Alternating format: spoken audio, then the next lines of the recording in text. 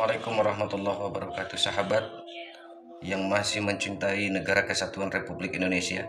Seyogyanya kita semuanya harus mengetahui dari pergerakan kelompok-kelompok Yang ingin merusak sejarah bahkan organisasi besar di Indonesia yaitu Nahdlatul Ulama. Kelompok tersebut semuanya kita sudah mafhum dan mengetahuinya. Mereka bergerak di kalangan atas, bawah, ya bahkan sampai menengah. Cuma kebanyakan diam diri ya membiarkan apa yang terjadi. Ini sangat berbahaya. Tonton, ini mana nih dan siapa nih? Lihat, ya melek atas pergerakan mereka yang sangat berbahaya. Mohon ditonton ini semuanya. Orang yang bukan habaib, bukan daripada Bani Alawi, menikahi Sarifah yang darahnya bersambung dengan Nabi Muhammad Shallallahu Alaihi Wasallam sampai hari kiamat ibadahnya ditolak oleh Allah Subhanahu Wa Taala terkecuali bisa mengembalikan keperawanan dari bisa mengembalikan keperawanan dari dengan bahwa setiap keturunan Nabi yang hidup pada hari ini pasti ada yaitu unsur kesamaan DNA dengan DNA Nabi. Tidak boleh secara syariat ya berpatokan kepada basmah wirasiyah tes DNA untuk menafikan nasab. Nggak boleh. Haram secara syariat. Jadi kalau Habib palsu ketahuan tuh kalau diperiksa. Uh, ah, DNA Nabi ke mana dia DNA nya ke mana ya kawan nggak boleh pakai tes DNA untuk takut hanya memastikan doang. Nggak apa-apa kalau mau tes DNA nggak boleh pakai tes DNA boleh kita tes DNA anak yang duluan mau tes DNA nggak boleh. Haram secara syariat. Alhamdulillah jadi kalau Habib palsu ketahuan tuh kalau diperiksa. Uh, ah, DNA Nabi ke mana, dia DNA-nya ke mana ya kuat? Diam saudara. Taruh lo, taruh lo, taruh lo, taruh lo. Laknatullah kamu mati mengenaskan kamu saat turun-turunanmu kamu nanti. Demi Allah. Habib itu jauh lebih mulia daripada menjadi ulama. Wow. Dan cinta kepada sesuatu yang lebih mulia itu lebih diutamakan. Anda cinta ulama bagus, tapi kalau benci habaib percuma. Cinta ulama bagus, tapi kapan Anda tidak melakukan apa yang lebih wajib? Percuma. Kata fil gurba. Hormati, sayangi, cintai anak keturunan Nabi Muhammad sallallahu alaihi wasallam yaitu para haba para habaib habaib habaib para habaib, habaib, habaib, para habaib, habaib, habaib. Nah, melarat, soleh, wali atau bukan, tapi dia Habib titik. Cukup dia sebagai manusia yang terpilih menjadi cucu Rasulullah SAW. Maka tugasmu wahai santri, jaga Habibmu, lindungi Habibmu. Caranya jangan celah jangan caci jangan mati jangan hina jangan rendahkan. Meskipun wujudnya seperti setan. Mencintai ahlul bait berarti hukumnya fardu. Wajib sama kayak ente sholat lima waktu fardu. Siapa pun tanpa pandang bulu mau alirannya sesat mau dia itu bodoh mau dia itu bukan misalnya bukan bukan orang bener-bener orang ahli maksiat tetap itu keturunan Nabi. Kalau ente ikuti yang nggak bener nggak boleh. Diikuti nggak boleh. Tapi cintanya tetap darahnya nggak bakal hilang. Nasabnya tetap nggak bakal hilang. Tetap nasabnya nisbatnya kepada Nabi Shallallahu Alaihi Wasallam. Kami datang ke Indonesia bukan untuk menjajah kepada anda tapi kami dan datuk kami semuanya datang kepada anda untuk mencetak ulama kiai-kiai ada di Indonesia ini berangkat dari Al-Quran falaula nafaru min kulli firqatin minhum ta'ifatul yatafaqahu fid din wal yunziru qaumahum idza raja'u ilaihim la'allahum yahdharun. Yang namanya ulama itu adalah mutafaqih fid din yang paham agama. Saya contohkan paham tafsir dan ilmu tafsir paham asbabun nuzul paham makiyah madaniyah paham nasikhah mansukhah paham muhkamah mut, uh, muqayyadah paham muh, muhkamah muqayyadah mut, mutasyabiha. Paham mutlaq muqayyadah paham amma dan khassa paham nasikhah dan mansukhah paham hakiki dan majazi kinayah isti'arah. Itu baru Quran. Belum hadis. Harus paham mutawatir paham hadis mutawatir, paham hadis masyhur, hadis aziz, hadis ahad, qat'iyul wurud, qat'iyul dilalah, qat'iyul wurud, dhurniyul dilalah, dhurniyul wurud, dhurniyul dilalah. Belum lagi harus paham hadis sahih, hasan, dhaif, dhaifnya maqtu, munqati, mauquf, mursal, muallal, mungkar. Kalau nggak paham ini jangan coba-coba ngaku ulama. Tak hadir di Ponces Homa, malah menumbalkan Kurtubi, tak sanggup menjawab tesis, Riyahi Imat selama dua tahun, malah Kurtubi dijadikan taman, Taufik Segaf gemar adu domba, nikmat nonton, makan minum enak, dan biarkan pribumi yang berantem. dan anda nggak usah bingung. Untuk menghadapi polemik-polemik ini ada nggak usah bingung. Kita punya punya Kiai Kurtubi. Cukup mewakili kita semuanya Kiai Kurtubi sudah cukup mewakili kita semuanya marak di mana-mana. Ini gerakan intelijen hitam, saudara. Mereka nggak mau ulama dan kiai bersatu. Mereka nggak mau ulama dan kiai punya pengaruh berakar di tengah masyarakat, saudara. Hati-hati. Ini bagi kelompok anti-Islam, saudara. Ini ancaman sangat berbahaya.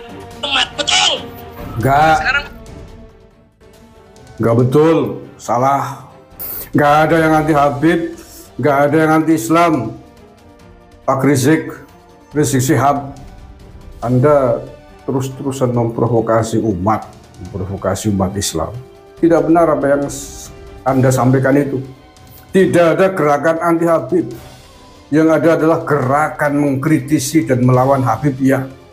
Mengapa perlu dikritisi? Mengapa perlu dilawan? Karena doktrin-doktrin yang dilawan oleh banyak oknum Habib itu sangat membahayakan bagi ideologi akidah kita semuanya. Doktrin-doktrin kelompok oknum Habib termasuk Anda sendiri Muhammad Rizik Sihab juga sangat berbahaya bagi keutuhan bangsa dan negara. Mengapa organisasi Anda dibubarkan oleh negara FPI? Karena doktrin Anda sangat berbahaya bagi keutuhan Bhinneka Tunggal Ika ini. Berapa masalah itu? Anda punya kasus di kepolisian dan sampai hari ini masih angkrem itu suatu saat sudah dibongkar kembali. Karena tentu saja ada perbuatan-perbuatan yang dianggap tidak sesuai dengan prinsip-prinsip kita di dalam berhukum, di dalam berbangsa dan bernegara. Mengapa Habib Habib kita kritisi? Perlu kita lawan. Selama ini mereka mengklaim sebagai zuriyah Nabi Shallallahu Alaihi Wasallam. Tetapi faktanya DNA kalian yang sudah tes DNA ini berbeda dengan DNA-nya zuriyah Nabi Shallallahu Alaihi Wasallam yang sudah diakui di dunia Islam. Maka kalau anda kalian semua mengklaim diri sebagai zuriyah Nabi, lekas-lekaslah tes DNA. Sekali lagi Muhammad Rizik Sihab Anda yang di depan sebagai katanya imam besar harus memberi contoh toladan. Pertama kali mestinya melakukan tes DNA. Ya itu saja dulu tes DNA dulu Anda lakukan dan juga pentolan-pentolan orang-orang terdekat Anda. Tes DNA.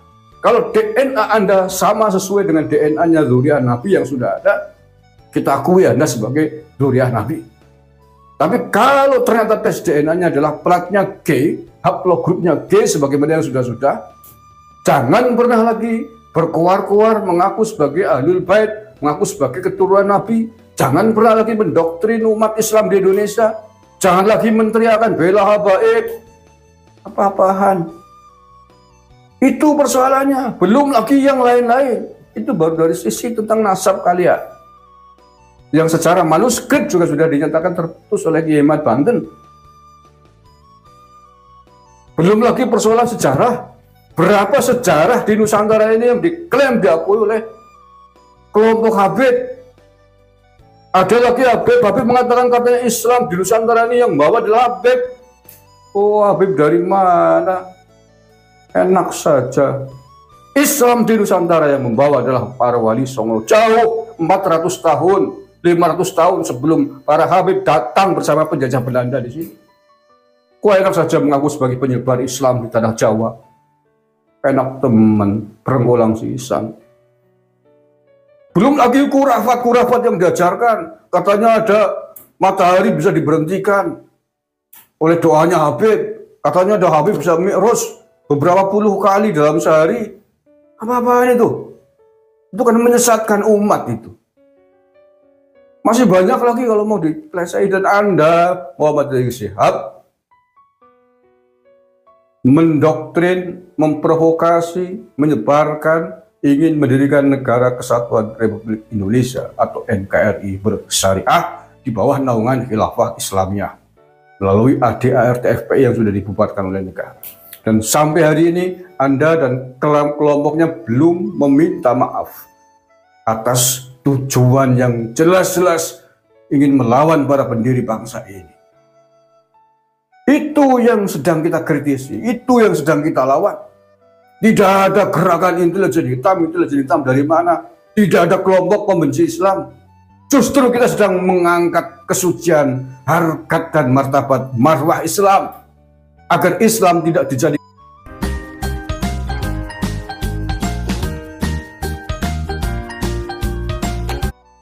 kesucian, harkat dan martabat marwah Islam agar Islam tidak dijadikan alat politik oleh kelompok-kelompok orang yang tidak bertanggung jawab agar Nabi kita Rasulullah SAW tidak diklaim, tidak dijadikan alat untuk kepentingan-kepentingan duniawi termasuk politik agar kesucian harkat keturunan Nabi tetap terjaga tidak diakui oleh klan-klan termasuk Yaman yang mengaku keturunan Nabi tapi tidak bisa membuktikan. Itu yang sedang terjadi sebenarnya. Tidak ada yang sedang mengusir Islam. Kita justru sedang membela Islam. Kita sedang membela harkat dan marwah kesucian agama Islam, kesucian ajaran Nabi, kesucian akhlak Nabi.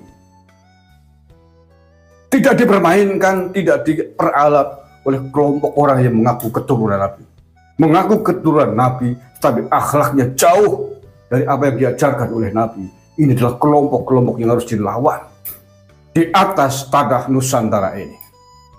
Kalian sudah dikasih hati, jangan ngerogoh rembelah dan sudah ngerogoh rembelah kalian. Sudah dihormati di sini ditempatkan dikasih jabatan kedudukan. Tetapi justru yang kalian lakukan banyak sekali menghinakan ulama-ulama Nusantara. Katanya Habib foto satu masih lebih baik dari puluhan ulama alim apa-apaan berengkolang dasi sesuai gue dikira kita al, apa anak-anak Nusantara ditakut kan kalian gerombolan pengungsi keturunan pengungsi jangan macam-macam di sini kalau terus-terusin seperti itu minta kita kepada pemerintah untuk mencabut keluarga negara kalian semua agar dipulangkan pulangkan ke tanah leluhurnya sana di Yaman silahkan ada tebarkan permusuhan di sana jangan di sini Jangan rusak bumi Nusantara sudah damai ini. Jangan rusak bineka tunggal ika yang senantiasa kita. Presiden goblok! Udah menteri agamanya saudara sesat, kurang ajar, korinya dajjal, istananya menjadi istana iblis.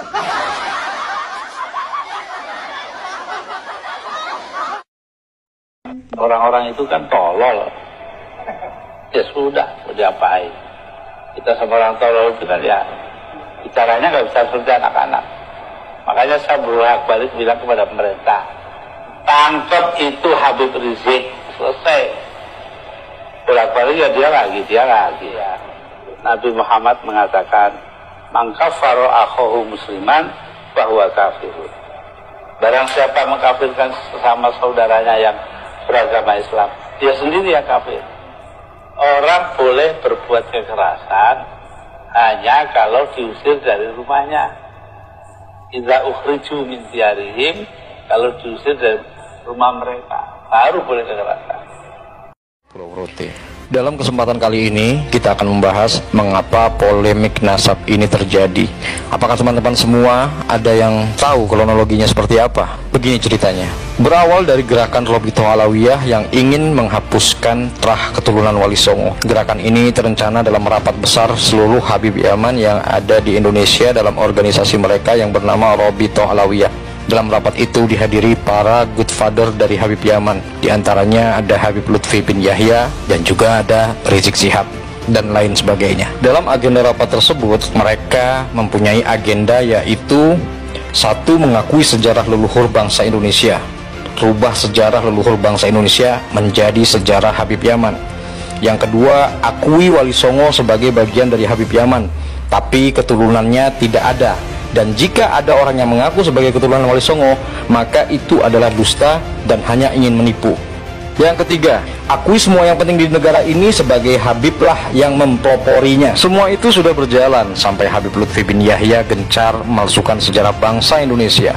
Semua sejarah leluhur bangsa Indonesia dirubah menjadi sejarah bangsa Yaman oleh Lutfi bin Yahya. Pangeran Diponegoro dirubah menjadi Habib Hamid bin Toha bin Yahya.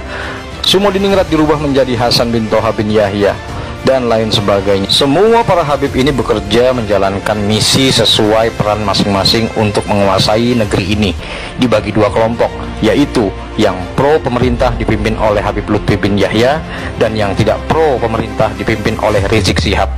Hingga akhirnya datanglah pertolongan Allah Subhanahu wa taala untuk menggagalkan rencana jahat daripada gerombolan Habib Yaman ini kepada rakyat Indonesia dan kepada negara Indonesia tercinta yaitu terbongkarnya pemalsuan makam-makam sejarah yang dilakukan oleh Lutfi bin Yahya. Ditambah lagi ketika Bahar Smith berkata tidak ada keturunan Wali Songo. Pernyataan itu ternyata memantik protes keras dari pihak Zuriyah Wali Songo, terutama dari Kesultanan Banten dan juga dari Kesultanan Cirebon, yang ternyata mereka ini jelas sebagai keturunan Sunan Gunung Jati dan juga jelas pernyataan Bahar itu memantik protes dari semua zuriah Wali Songo yang ada di seluruh Nusantara ini. Maka jelas ya saudara-saudara semua bahwa geger gaduh nasab ini dimulai oleh gerombolan Habib Yaman bukan dari Trah Wali Songo atau dimulai dari pribumi Nusantara. Itu memang kosong di zaman itu. Jadi orang-orang pendatang ini dikirimlah ke sana gitu loh. Akan tetapi ketika mereka sudah semakin besar besar besar mereka mau nikah dengan orang Yaman itu kesulitan karena mereka kan orang Yaman tahu kalau mereka keturunan Yahudi gitu loh yang datang itu. Suara saya jelas nggak? Iya iya iya. Jelas jelas. Nah jadi setelah itu sudah besar besar mereka ambil inisiatif sendiri berpikir bagaimana caranya bisa nikah dengan orang Yaman. Kita nggak tahu niat dibalik itu mereka ya Habis itu di antara mereka banyak yang masuk Islam. Masuk Islam terus nikahlah dari orang Yaman dari kabilah-kabilah itu nikah. Nggak tahu entah setan apa yang merasuki mereka ngaku keturunan Nabi. Nah, setelah sudah ngaku keturunan Nabi, mereka besar-besarlah di Yaman. Habis itu mereka datangi orang-orang Badui itu mintain kambing. Dibilangin kalian nggak usah sholat. Kami ini keturunan Nabi, yang penting kalian muliakan kami kalian masuk surga. Itu orang berdui. Aku videonya ada tiga video aku wawancara orang berdui itu bos. Cuma kan keadaan aja keadaan aja yang belum mem, mem, mem, apa mem, memberanikan saya untuk saya upload gitu loh. Jadi orang-orang berdui itu didatangin dimintain kambing hasil hasil panen mereka itu dijanjiin karoma dijanjiin surga gitu. Jadi sama halnya lah dawer di Indonesia itu. Jual pasir jual minyak yang bilang irkun nabi apa keringat nabi segala macam samalah dawirnya itu. Terus setelah mereka sudah semakin besar-besar berbaur dengan orang Yaman mereka sudah mulai merontak terakhir berdirikan partai komunis. Seperti yang dibawa sama mereka dari dari Jerman sana. Dulu kan pembantian komunis di Jerman kan besar-besaran itu makanya mereka kabur.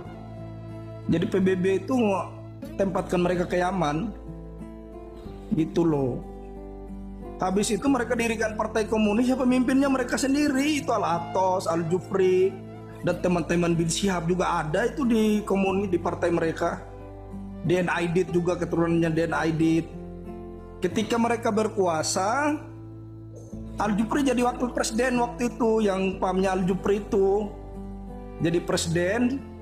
Habis itu mereka tutup pesantren pesantren nggak boleh wanita nggak nggak nggak boleh pakai jilbab. Uh, tentara juga di kesatuan kalau ketahuan puasa itu di ini dipecat. Gitu loh. Dan saya nggak hanya cerita teman-teman saya wawancarai orang. Saya berani kalau wawancarai orang. Kan pernah kan Gus Hasan lihat saya wawancarai orang Yaman sembarangan di jalan yang megang senjata kemarin itu kan? Kan ada saya takut-takut jadi kayak gitu. Setelah itu mereka setelah berkuasa ke Yaman yang marga-marga ini kan setelah berkaya, berkuasa partai komunis keluarlah orang saingan mereka yang ada di zona sana di Yaman eh, Selatan. Menang dia jadi presiden. Dirubah semua sama dia Yaman dijadikan satu. Yaman Utara sama Yaman Selatan habis itu semua syariat Islam dikembalikan. Terus ininya komunis-komunisnya didor. Ada yang dibedel kepalanya termasuk bapaknya Wan Abid juga itu kan kena betel bedel kepalanya. Bukan mati jihad itu. Seperti itu. Habis itu mereka lari terbirit-birit lah Ya itu jelas lah Belanda setelah itu lihat orang di padang pasir lari-lari ya diambil lah dibawa ke ke Indonesia. Habis itu di Indonesia ya mereka bikin ini lagi, bikin onar juga. Ya, nyatanya mendirikan partai komunis juga, Dian Aidit sama beberapa Habib yang lainnya. Taruhlah kalau Dian Aidit nggak dipercaya sama mereka, terus Habib yang lain juga di belakangnya kan ada itu. Ada dua petiga Habib itu teman-temannya ya menunjukkan memang mereka bawa komunis dari Yaman gitu loh ya itu yang sangat ngerinya terus sekarang anak di Aden ini Gus Gus Hasan ya anak-anak anak lagi di Aden ini anak ketemu kemarin malam orang yang uh, yang apa kayak RT lah gitu kalau di Indonesia ya Gus Hasan ya saya pertanyakan masalah ini masalah hujan susu itu saya juga punya videonya lucu. Tahu ada dengarnya kurang ajar. Kan ceritakan ada pernah Habib datang ke Aden kan. Terus kalau kamu mau datang ke, ke Aden uh, minta doa hujan itu, hujan susu. Ya dengar ya. Ya, uh, ada itu.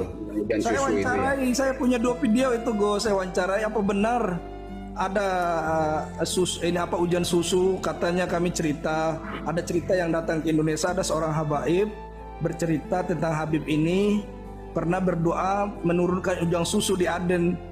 Kata siapa? Kata itu hanya hayalan aja nggak pernah ada kayak gitu. Dia bilang habis itu gini nih sama anak, se se se ini nabi saja yang punya mukjizat itu nggak bisa mendatangkan ujang susu. Masa dia yang mendatangkan ujang susu kan lucu kata RT-nya. Jadi setelah itu saya diceritain juga di Aden dulu ada dua kuburan itu nggak ada mayatnya tapi mereka mencaplok bahwasanya nenek moyang mereka pernah sudah ada duluan di Aden gitu loh. Mereka bikin kuburan palsu dua, dibangun sama mereka rumah, terus menaranya dibangun. Habis itu karena masyarakat tahu itu tidak ada penghuninya itu kuburan dihancurkan, diratain kayak tanah. Ya sama hal yang ada di Indonesia lah kuburan-kuburan palsu banyak. Mereka itu sengaja bikin kuburan palsu di tengah daerah agar mengakui kalau nenek moyang sudah datang duluan di tempat itu gitu loh. Mereka lah yang paling daerah. Padahal jong. Ya kayak ini, kayak Nabi Hud itu. Mungkin teman-teman kan dengar ceritanya Nabi Hud bangun di dalam gua itu kan. Itu kan orang Yaman sendiri kan ngirim surat ke Tarim. Jangan kamu bawa-bawa Yaman demi untuk mendapatkan pundi-pundi uang, mengatasnamakan Yaman, Nabi Hud bangun segala macam itu cerita yang nggak benar. Ditegur langsung. Karena bukan dia aja orang Yaman soalnya. Jadi sekarang yang namanya Nabi Hud itu udah rungkat. Sudah nggak pernah lagi mereka menggembong-gembongkan Nabi Hud itu. Nabi Hud kan orang Yaman sendiri bilang bukan kuburannya di Yaman, dia itu di negeri Syam. Di Irak apa di mana Gus? Lupa nah. Yang terakhir teman-teman, kita nggak pernah cerita palsu di Yaman itu nggak pernah ada yang namanya Ba'alawi atau menyanjung-nyanjung seperti di Indonesia nggak ada. Jangankan orang awam ya, orang Baduinya saja kita tanya mereka dibilang pendusta. Gimana itu untuk kita apa? Kita jadikan sebuah dasar untuk benar nasab mereka. Saya tanya Al-Faqih Al-Muqaddar, mana ada orang Yaman kenal dibilang orang gila malahan. Itu bukan orang Wahabi yang saya tanya itu orang orang orang Asy'ari semua sama berakidah sama kita mereka itu. Mereka nggak ada yang tahu. Ada yang bilang kadab, ada yang bilang majnun. Ya mau diapain gitu loh. Kalau masalah tarim ini teman-teman memang sudah ada sudah ada tim-timnya yang mengiklankan tarim ini. Seperti pasir biar laris jualnya seperti apa. Jadi kayak gitulah. Terus tarim diiklankan ke dunia biar orang kenal. Ya untuk mendapatkan uang. Ya kalau nggak ada Indonesia sama Malaysia ya nggak bisa itu. Kasih makan itu tarim santrinya apa. Tahu sendirilah ya mau benar bagaimana nasab mereka kalau udah begini? Orang Yaman sendiri aja nggak pernah kenal mereka. Nggak ada saya nggak ada untungnya wallahi untuk untuk hanya untuk niat menjelekkan seseorang terus kita kayak gini tuh nggak ada untung sama sekali buat saya. Saya malahan berharap ada yang membenarkan mereka jumhur biar kecintaan saya sama mereka semakin benar. Tapi nyatanya bukan jumhur lagi. Orang orang bodoh sekalipun nggak ada yang mau percaya gimana coba